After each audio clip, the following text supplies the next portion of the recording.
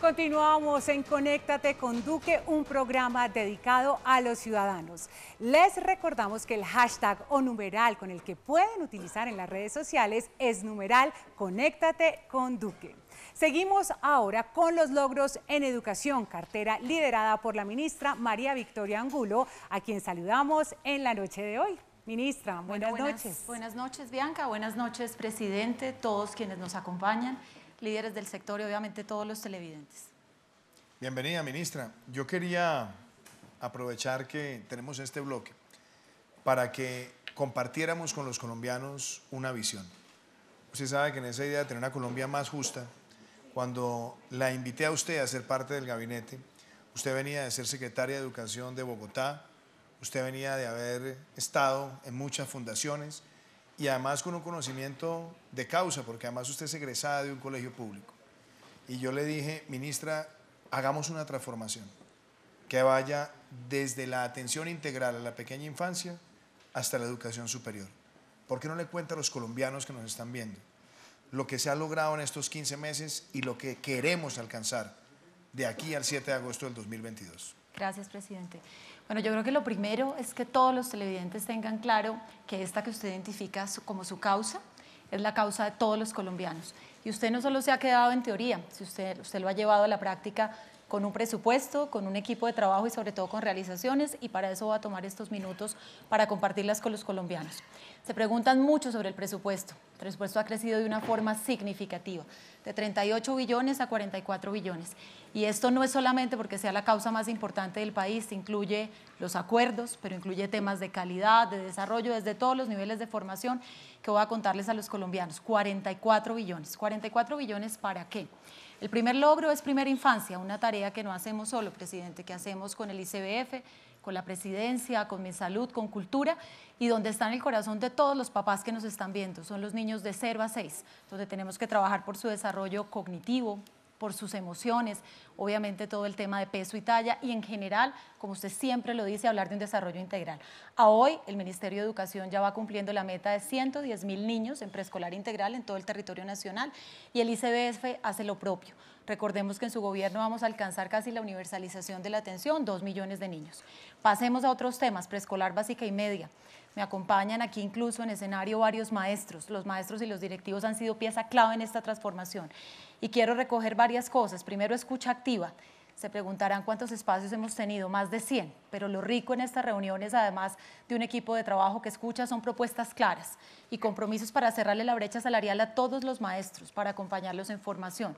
Usted habla de problemas que envejecieron mal, la salud, ese es otro problema y lo estamos abordando con el Ministerio de Hacienda, con Previsora y son muchos temas, defensor de la salud, pago de deudas, artículos en plan de desarrollo y sobre todo generar una buena forma de contratación para el año 2021. Además de esto, la vida de los maestros, la integridad de los maestros y pensar que como eje transformador debemos encargarnos de formación continuada, formación posgradual. En fin, lo menciono de primero como eje de calidad porque es el vértice, el eje central de todo lo que venimos haciendo. En metas que le toquen la vida a muchos niños de Colombia le podría resumir dos logros. Jornada única. Jornada única, encontramos una línea base de 12%, hoy vamos en 15% pero más que eso estamos hablando de más de un millón de niños, más de un millón ciento cincuenta mil de niños que les ha venido cambiando la vida gracias a que su jornada cobra sentido, con actividades también artísticas, culturales, pero sobre todo con una apuesta decidida de los rectores y de los secretarios de educación a hacer que esta jornada cubra todos los elementos de calidad. Allí viene de la mano el logro de lo que usted mencionaba ahora del SENA, que es la doble titulación. Y aquí pongo el foco en todos estos padres que tienen hijos de 14 a 16 años, que están queriendo ya culminar eh, su secundaria y que con el SENA vamos a poder apoyar para que no solamente tengan una habilitación para la vida, para su formación, sino también una habilitación laboral. Y serán muchos más, 650 mil en el cuatrenio. Y usted hablando de esto también tiene que hablar de reducir la deserción, presidente, y para eso su obsesión desde el primer día fue alimentación escolar. Ese tema sí que lo debaten los colombianos y los medios de, comunicación. Pero además de debatirlo, era el momento de tomar decisiones. Incrementamos la inversión un 50%. Estamos trabajando por en más o menos dos, tres semanas. Le va el presidente al país la noticia de una unidad especial de alimentación. Oyendo a la Contraloría, oyendo a los papás, a los niños, nos damos cuenta de que no podemos ahorrar ningún esfuerzo para trabajar, presidente, por la transparencia, para que haya minutas diferenciadas en las distintas edades, para que el programa sea un programa ejecutado con calidad y para que entre todas las entidades, porque esto genera eh, encadenamientos productivos, diferenciación de lo que es una minuta rural y urbana, en fin, un tema de alimentación con sentido, una alimentación para aprender. A eso le suma usted transporte escolar y en general el acompañamiento a la infraestructura. Otro logro.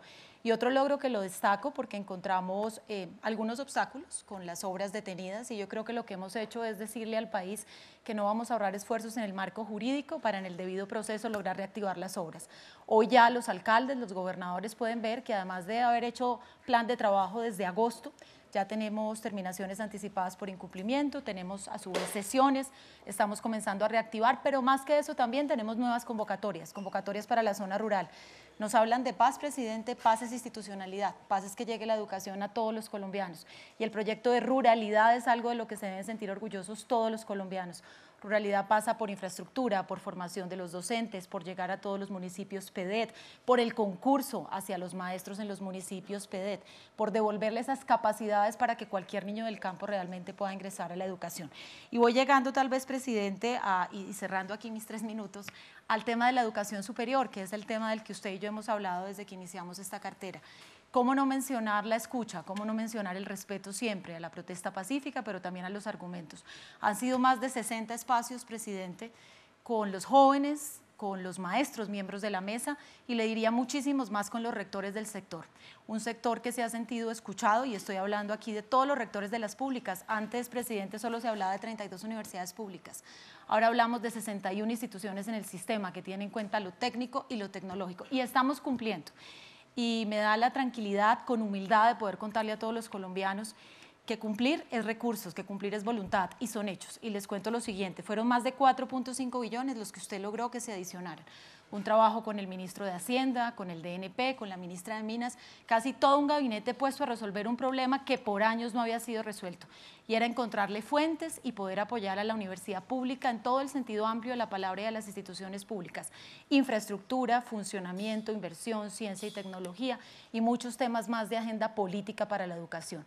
En este primer año, presidente, llevamos 10, 11 meses de haber firmado el acuerdo el 14 de diciembre con usted hemos logrado entregar 1.26 billones. Y no hay una región a la que yo no asista y lo pueden decir los señores rectores donde ya tenemos las buenas noticias de contarle a usted, por ejemplo, en Santander, cuánta plata se le había adicionado a la UIS para todas estas materias, cómo iba avanzando la infraestructura, cómo van avanzando en la formalización de los distintos docentes que hacen parte del equipo, un trabajo de conciencias impecable para el número de doctores, las convocatorias de fortalecimiento de capacidades científicas y en fin, todos y cada uno que no me cansaré, con paciencia, humildad y pedagogía en todos los medios de comunicación decirlo, porque si hay un tema que no tiene color, presidente, es la educación.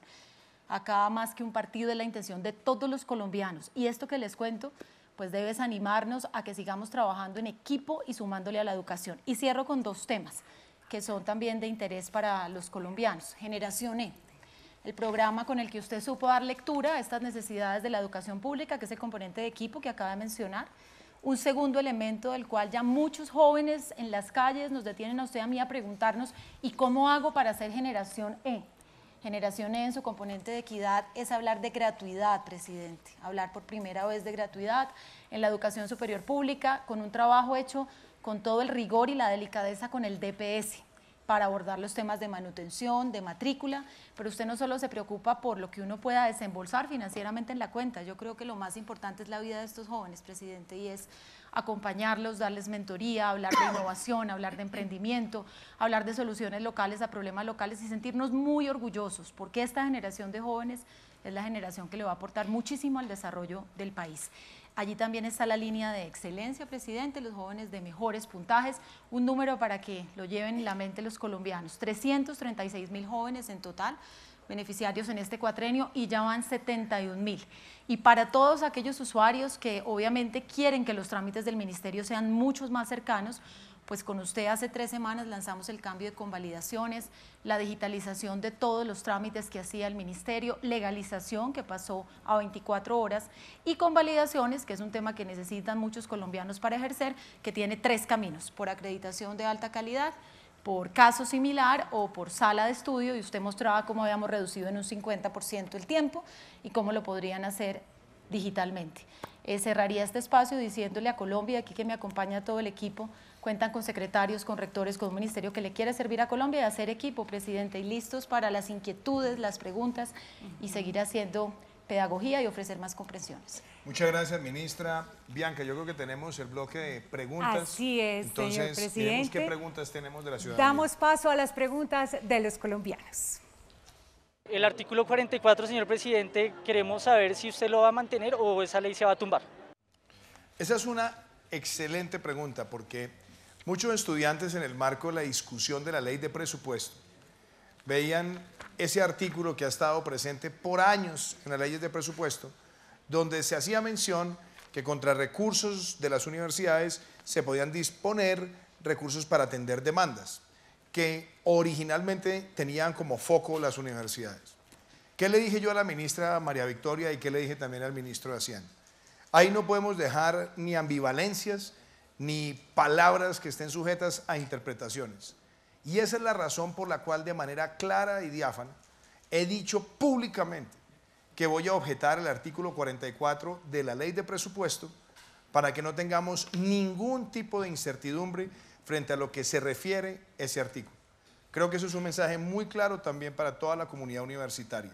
Así que mi respuesta es contundente. Se va a objetar el artículo 44 para que salga de la ley de presupuesto.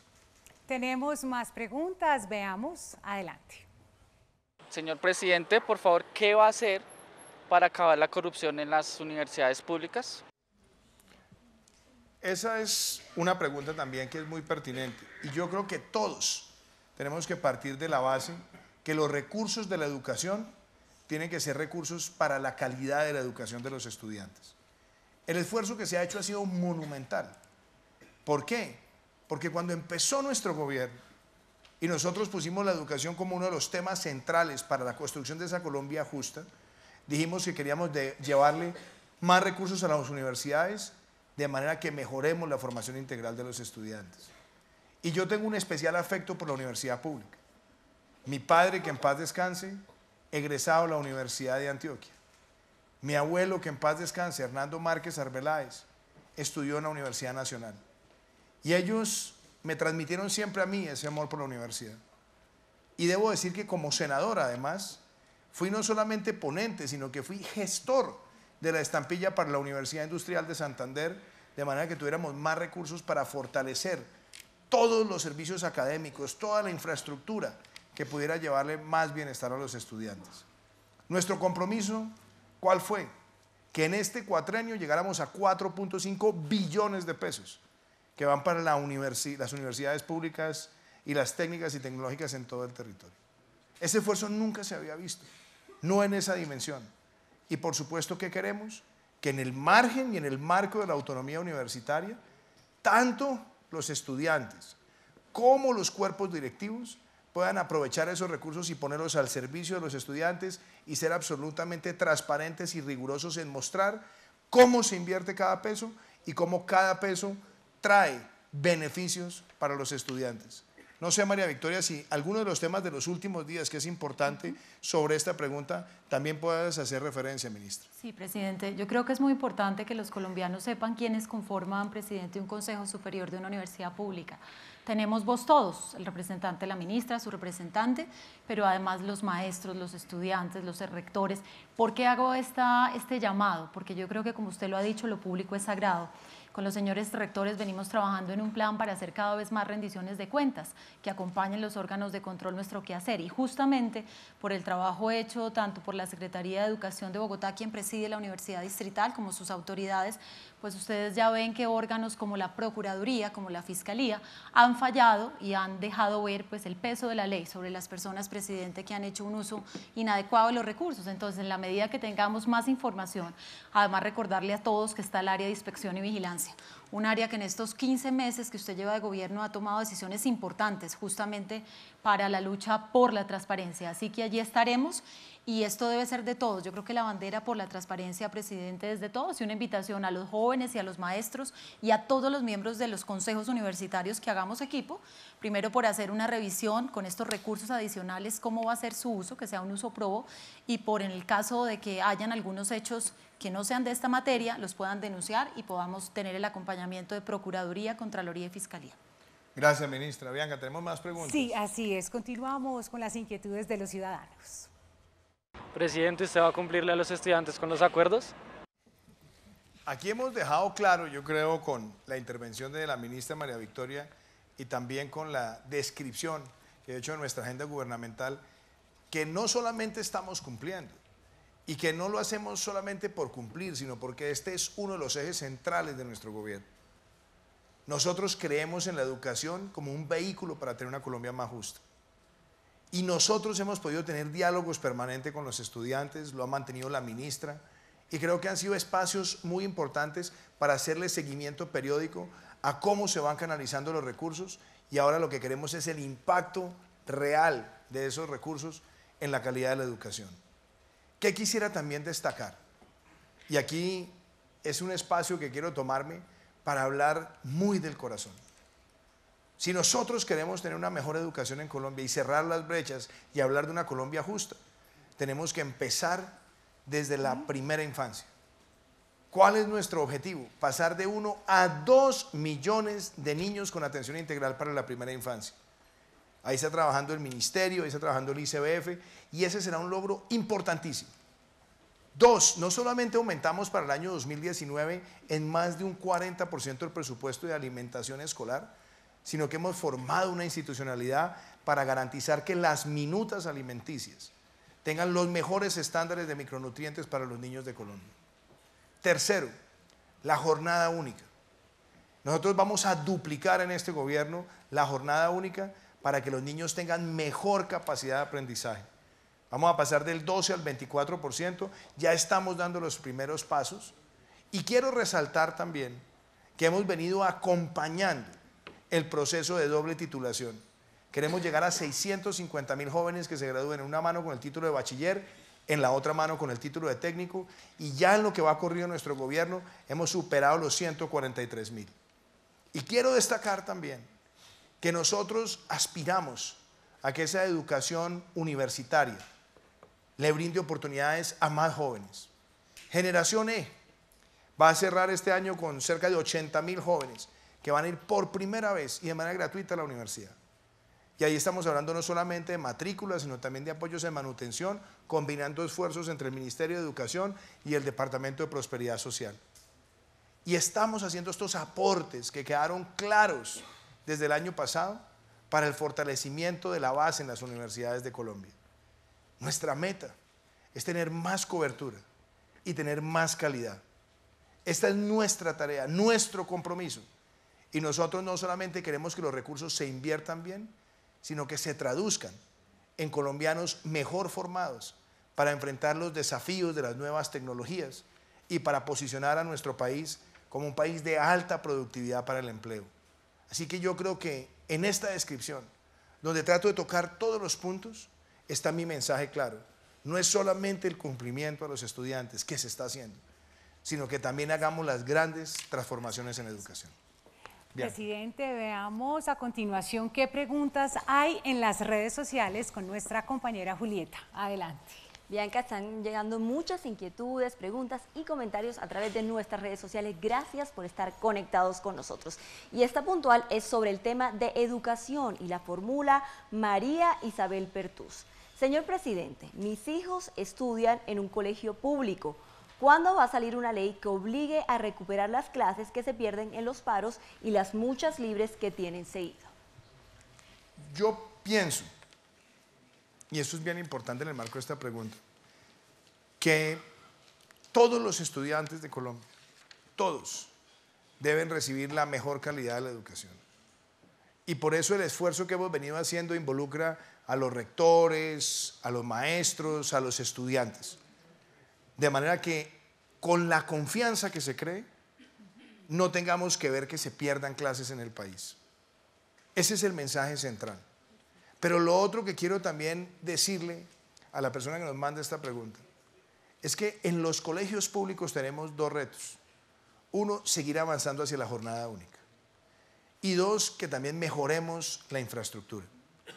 La ministra ha descrito que desde que empezó nuestro gobierno nos encontramos con muchos colegios y muchos proyectos de infraestructura que estaban capturados en unos pocos contratistas que no estaban respondiendo y se ha venido aplicando la ley rigurosamente porque no podemos permitir que nadie, absolutamente nadie, juegue con los recursos de la educación.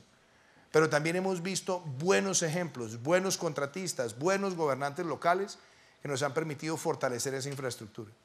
Aquí en la ciudad de Bogotá hace unas semanas estábamos inaugurando el Colegio Bicentenario de la Independencia de Colombia. Estábamos hace poco también en Girón, en Santander, inaugurando el Colegio Gabriel García Márquez. En el Departamento del Atlántico vamos a inaugurar con el señor gobernador Eduardo Verano más de 20 colegios en las próximas semanas.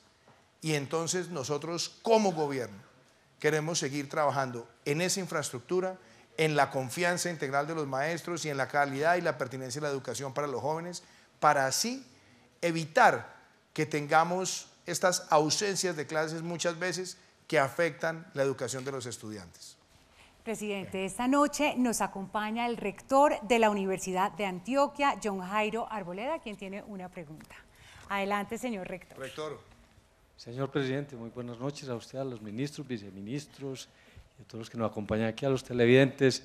Como ya nuestros estudiantes hicieron las preguntas, ya se respondieron y hay una claridad sobre esos temas, yo quisiera aprovechar, arrancar por donde usted empezó el programa en temas de equidad, que nosotros lo vemos también, igual que usted, como llevar oportunidades a todo el territorio en nuestros departamentos, hablo de las universidades del orden territorial, y quisiera saber su opinión al respecto de lo que va a ser esos procesos de regionalización en las universidades públicas y privadas, cómo vamos a llevar educación superior, que ya está comprobada en el mundo es el mejor vehículo de desarrollo social y económico, a esos territorios que hemos abandonado durante tantos años porque está todo concentrado en las grandes ciudades. Y el otro tema adicional que tiene que ver con ello es educación superior rural. Yo creo que urge que Colombia muestre que necesitamos incluir a las personas en el campo a la educación superior. Rector, como yo sé que es esos temas que apasionan mucho a la ministra y está que, que se habla y yo, yo quiero, de pronto antes de darle la palabra a María Victoria, porque sé la pasión que ella siente por el proyecto de regionalización, hablarle de un caso que, para mí fue muy, muy emocionante. Estuvimos en La Paz Cesar con la rectora de la Universidad Nacional, con la doctora Dolly. Inauguramos una sede absolutamente hermosa en un municipio del Cesar que va a abrirle oportunidades de educación a miles de jóvenes de la periferia, a miles de jóvenes de distintas regiones. La calidad de la infraestructura nada que envidiarle a ninguno de los mejores campus en el país. Pero una cosa importante, gracias a los aportes que estamos haciendo a la base, se garantiza el funcionamiento de esa infraestructura. Y a mí me parece que ese tipo de, de experiencias bueno es también replicarlas con las universidades. E inclusive yo también creo, rector, que hay que dar un paso también en tener formación semipresencial y formación digital sobre todo en muchos lugares. Parte de la apuesta que estamos haciendo por la conectividad en el territorio, con llevar Internet de alta velocidad al 70% de los colombianos en el 2022, también le va a abrir un espacio enorme a las universidades, públicas y privadas, para llegar a los territorios y ofrecer programas. Y por supuesto también tener herramientas semipresenciales en algunos lugares, donde necesitamos una formación pues, más práctica en algunas, en algunas actividades. Pero usted lo dice y lo dice además con pasión y es la misma pasión que yo siento. Llevar a las regiones del país la universidad es llevar oportunidades y es justicia social y es equidad. Pero María Victoria, ministra, yo sé que usted tiene una gran pasión por esta agenda. Qué bueno que usted también le hable al rector de la Universidad de Antioquia y a todos los rectores aquí presentes y a los que nos acompañan desde su casa, porque usted ha sido una de las que más me ha insistido en que busquemos proyectos no solamente a través de los recursos que ya están dentro del sistema, sino también buscar recursos de regalías para estos propósitos. Gracias, presidente. Mil gracias, rector. Nos acompañan aquí secretarios, expertos en tecnología. y me emociona responderle a todos. Primero partamos de, de, Antioquia. Yo creo que el ejercicio de regionalización que ha hecho la Universidad de Antioquia es pionero en el país. La idea es poder acompañar más ejercicios de estos con la universidad pública. Están electos nuevos gobernantes, nuevos gobernadores, nuevos alcaldes. Estoy muy lista para a partir de enero sentarnos con ellos a pensarlo en conjunto. Usted ha mencionado que hay fuentes de presupuesto nacional, como el caso que mencionó de la nacional, también inversión de regalías y yo mencionaba la paz con legalidad, los municipios pedir la institucionalidad. Allá también tenemos que llegar. Y aprovecho, porque aquí cada minutico vale mucho, para poderle contar a los televidentes de un cambio que hicimos en el decreto 1330 de educación superior, porque los sueños tienen que ir acompasados de lo que uno va reformando. Y este decreto ya permite que los rectores presenten programas duales, como usted acaba de decir, programas virtuales, obviamente programas presenciales, vinculación de todas las metodologías y da mucha libertad con alto rigor técnico para que nos focalicemos en los aprendizajes de los jóvenes y obviamente en la ruralidad. Así que terminaría mencionándole, presidente, que vamos dando pasos, que son realidad. Estoy en este momento en más de 1.084 municipios del país con el programa Generación E en el componente de equidad, donde hablamos de esta gratuidad y con quién lo estamos trabajando, con las 61 instituciones públicas. Entonces, hay un primer paso claro suyo de regionalización, de gratuidad, de llegar a un número importantísimo de municipios y claro que un reto de estos años venideros, estamos diseñando un fondo de innovación, presidente, al cual las universidades van a poder presentar sus propuestas para hacerle un rediseño a los programas y poder llegar usar la tecnología que usted menciona y todas las reformas que la ministra Silvia está poniendo en marcha a raíz de la ley que nos va a permitir estar más conectados. Ministra, algo también importante de pronto para decirle al rector y a los rectores, es también cómo aprovechamos lo que puede ser la doble titulación con el SENA. Esto es bien importante lo que voy a decir, porque si nosotros estamos llegando al final del bachillerato y logramos que los estudiantes se vayan graduando con el doble título, el título de bachiller y el título de técnico, lo que queremos es que ese estudiante pueda encontrar una oportunidad adicional para que con un año más de formación puedan llegar a ese primer título, tecnólogo, a ese título de, de educación superior y ahí puede haber varias avenidas. Uno, que esos estudiantes lleguen a través de los programas de formación digital o presencial o semipresencial de la universidad pública. Y dos, que también podamos con el SENA, en asocio con otras universidades, llevarle esa formación adicional. Eso tiene un impacto importantísimo en cobertura, pero sobre todo permite ganarle tiempo por parte de los estudiantes a esa formación cuando está orientada hacia áreas específicas. Y algo que también quisiera destacar, me ha llamado mucho la atención que universidades públicas y privadas están empezando, como digo, a aprender el bombillito de la educación técnica y tecnológica, porque se dan cuenta que ya hay estudiantes que quieren aprender ciertas destrezas, ciertas pertinencias y que es parte también de su responsabilidad adaptarse a lo que están demandando los estudiantes. Y yo creo que eso nos permite llegar a más regiones y desde luego lo que ha hecho la Universidad de Antioquia en Antioquia es impresionante, con la presencia en distintas regiones. Pero queremos que eso se multiplique también en todo el país. Y de hecho aprovecho para decirlo, yo le, a la ministra María Victoria le he planteado que hablemos con la rectora de la Universidad Nacional, con Dolly Montoya, para que por ejemplo en el caso de San Andrés y Providencia, Santa Catarina y Los Cayos, nosotros tengamos más programas de educación superior en pregrado y en maestría, de manera que no tengan los estudiantes del archipiélago histórico, indivisible, que salir, sino que puedan también encontrar esa oferta. Y eso también es regionalización y eso también es pertinencia y es calidad. Muchas gracias, rector. Presidente, le damos la palabra a Ana Leonor Rueda, secretaria de Educación de Bucaramanga. Bienvenida. Buenas noches, señor presidente, señora ministra, y a todos los presentes y obviamente a los televidentes. ¿Cómo su gobierno seguirá orientando el trabajo en las regiones en temas de educación? En estos 15 meses hemos logrado eh, un espacio de confianza con la señora ministra y su equipo de trabajo. Y temas como la infraestructura escolar, por supuesto, nos preocupa a los secretarios de las entidades territoriales certificadas la articulación de la educación media también es un tema en el que necesitamos avanzar. En nuestra administración en Bucaramanga vamos a dejar 10 modernas aulas STEAM para la educación eh, básica, secundaria y media. Y la reforma al sistema general de participaciones requiere del gobierno medidas eh, transformadoras. Ustedes han destinado unos recursos importantes de inversión, pero seguramente Si mejoramos las infraestructuras, si avanzamos en la jornada única, necesitaremos más maestros y mejor calificados. Nuestro enfoque con las regiones, yo creo que ese es el tema central de la pregunta, ha sido participativo, dialogante, pero además efectivo en materia de movilización de, recursos. Esa ha sido, digámoslo, la, la tarea con la que nosotros empezamos el gobierno. Sabíamos problemas que venían del pasado, algunos han tenido que resolverse tristemente porque hemos visto contratistas con un desempeño terrible, en otros lugares con experiencias maravillosas. Entonces yo diría, esa es una parte. Pero lo otro tiene que ver con la participación tanto de universidades como del sistema en proyectos que puedan llegar al sistema regalías. Esa ha sido una, una premisa también importante.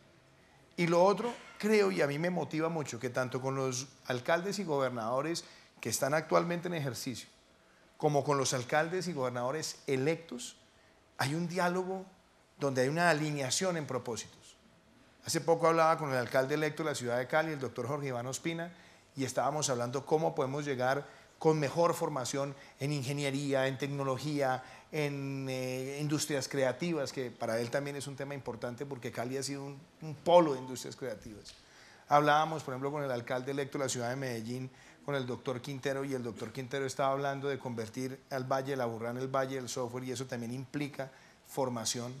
Hemos hablado también con gobernadores del Bichada, del Guainía, del Baupés, del Amazonas, todos también con el propósito de fortalecer el sistema educativo.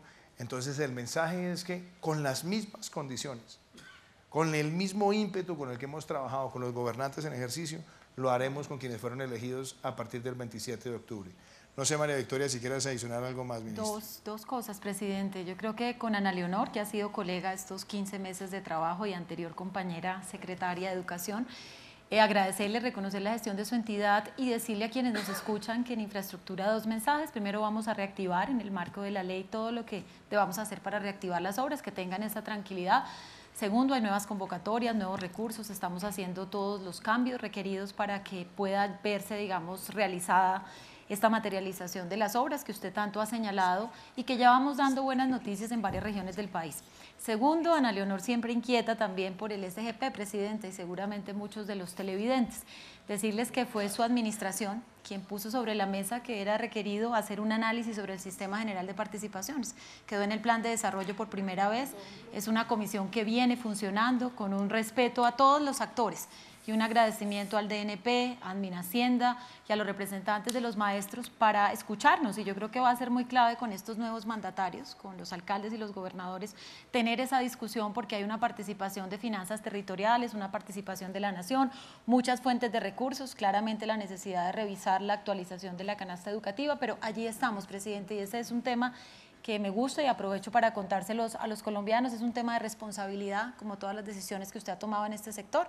Es retador, pero ahí estamos, dirigidos con la viceministra y la secretaria general, dándole a esa mesa pues, el nivel y el rigor que toca. Así que confianza en los territorios y estos espacios que les hemos dado a los secretarios de educación no son menores. Es por una infinita confianza en que lo que pasa en el territorio pues es lo que impacta en la realidad de los niños. Así que seguirán contando con ella siempre todos los secretarios, los alcaldes electos y los gobernadores y que dicha presidente que usted ahora los vea compitiendo por quién hace la mejor propuesta educativa. Con eso el único que gana es el país.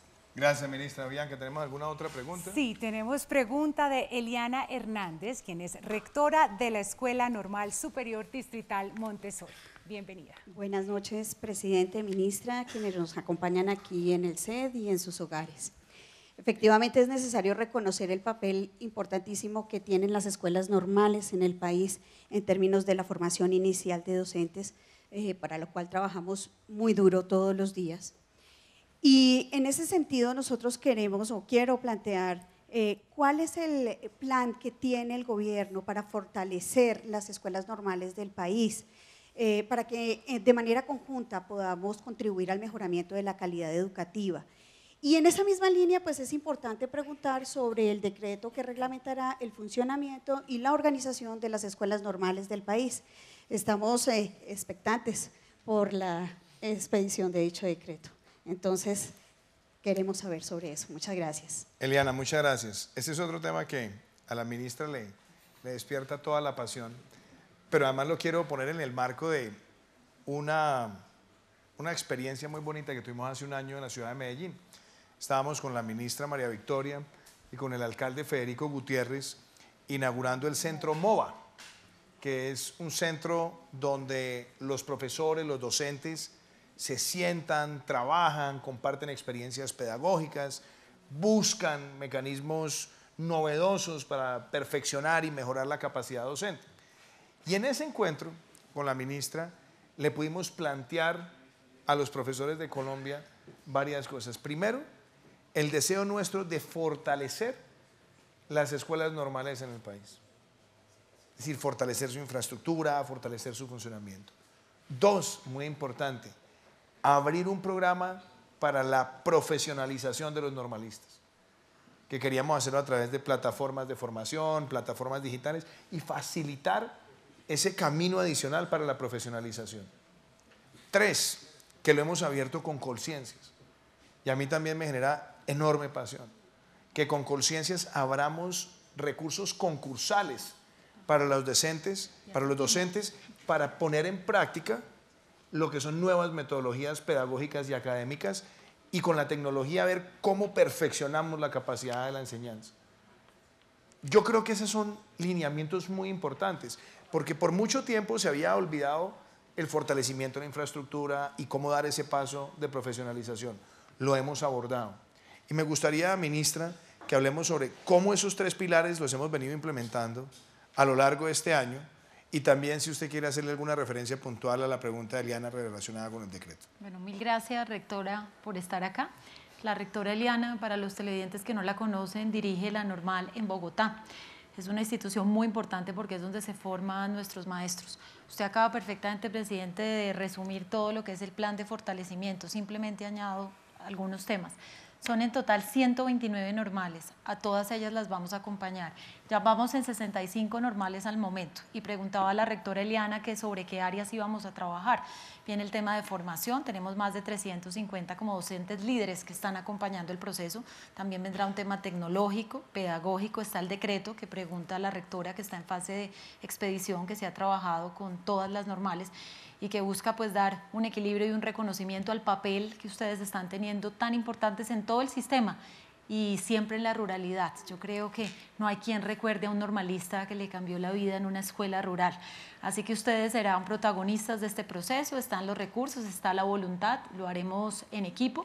Y perdóneme, robo un segundito, presidente, porque se nos está acabando el tiempo.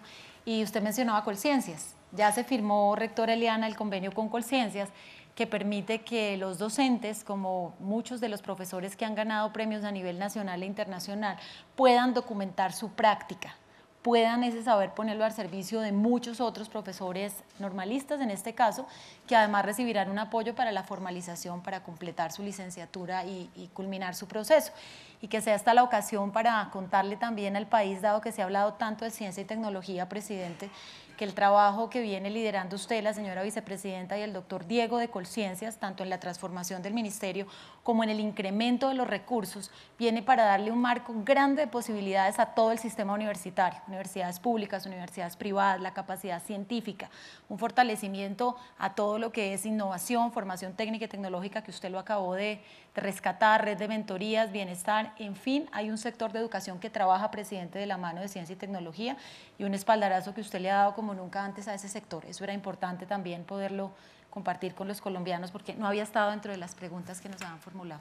Muchísimas gracias, ministra. Bianca. Presidente, ministra, tenemos llamada telefónica desde la ciudad de Bogotá, Manuel Sarabia. Adelante, Manuel. Buenas noches, yo soy Manuel Sarabia de Bogotá y tengo una pregunta para ustedes. Ustedes han dicho que en 15 meses se han reunido en varias oportunidades con estudiantes y con docentes de educación superior. ¿Si les ha dado el tiempo para tantos espacios? Ministra, cuente usted cuántos espacios hemos tenido bueno, y cuándo se creó la mesa. Cuente todo la, el, el, desarrollo de la mesa que es importante. Bueno, mil gracias al televidente Manuel, si no recuerdo mal. Eh, pues yo creo que la pregunta de Manuel sirve para contar, agradecer, reconocer y dejarle ver al país cómo bajo su mandato nos ha tocado armonizar. Usted sabe que tal vez desde las siguientes tres semanas que entramos, entramos con uno de esos temas que llevaban tiempo sin resolver, que era el tema de la educación superior pública. Y en paralelo he contado con un gran equipo. Este equipo no solamente me acompaña en el ministerio, sino en las secretarías y son los rectores. Y créame que no es porque estemos aquí en televisión y quiera simplemente cumplir con una amabilidad. Si no hubiera logrado ese trabajo y esa sinergia, yo no podría estar en más de 100 espacios con los maestros de FECODE, en más de 60 espacios con los líderes estudiantiles y de maestros. Y en cuanto foro, proyecto, iniciativa, presidente, que usted sabe que sean las regiones, allí hemos estado. Y yo creo que eso habla de la generosidad y el talante de mucha gente que no sale permanentemente en los espacios, salgo yo, pero detrás hay mucha gente que está apoyándolo a usted y al sector educativo, así que le hemos cumplido en meta, somos uno de los sectores que más ejecuta el presupuesto y a su vez podemos tener escucha activa y demostrar que con paciencia y resiliencia uno puede generar espacios constructivos. Eso han sido los 15 meses de trabajo. Muchísimas gracias, ministra Bianca. ¿Alguna otra pregunta? No, presidente, por ahora, pero a continuación vamos a ver los logros del Ministerio de Educación. El presupuesto que destinó el gobierno del presidente Iván Duque para la educación es de más de 44 billones de pesos para el año 2020. Se trata del presupuesto más alto destinado a este sector en la historia de Colombia. El gobierno del presidente Iván Duque está comprometido con la educación y estos ocho grandes logros lo demuestran. Logramos el mayor presupuesto en la historia, pasando de 38 billones de pesos en el 2018 a 44 billones de pesos para el 2020. Reiteramos nuestro compromiso con la primera infancia. 110 mil niños de preescolar reciben educación inicial integral de calidad. En el cuatrienio serán 500 mil niños de primera infancia beneficiados. Aumentamos en 2019 el 45.3% de los recursos para el programa de alimentación escolar, con más transparencia y cobertura. Con una inversión de más de un billón y cerca de 5.6 millones de estudiantes beneficiados durante todo el calendario escolar. A través del Fondo de Financiamiento de la Infraestructura Educativa, avanzamos en 541 proyectos con 10.851 aulas básicas nuevas y mejoradas e intervenimos 1.838 espacios complementarios. Trabajamos por la calidad educativa. Hoy 1.112.805 estudiantes de preescolar y básica primaria acceden a la jornada única con tiempo de calidad en la escuela. Así cumplimos la meta, 15% de la matrícula oficial en 2019 y en 2022 llegaremos al 24% en jornada única. También promovemos oportunidades para que jóvenes reciban doble titulación en la educación media. A diciembre de 2019, más de 140.000 estudiantes se graduarán con doble titulación destinamos más de 4.5 billones de pesos en el cuatrienio para fortalecer la educación superior pública cumpliendo los acuerdos.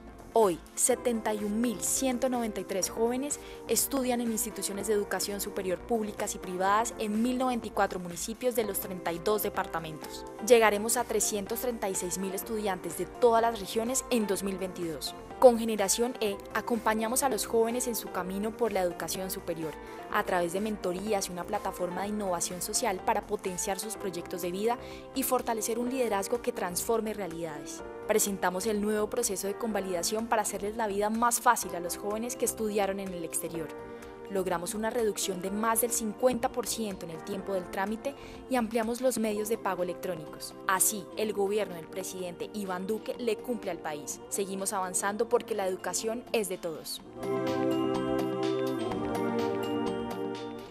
Vamos a hacer una pausa de interés y en segundos regresamos con Conéctate con Duque.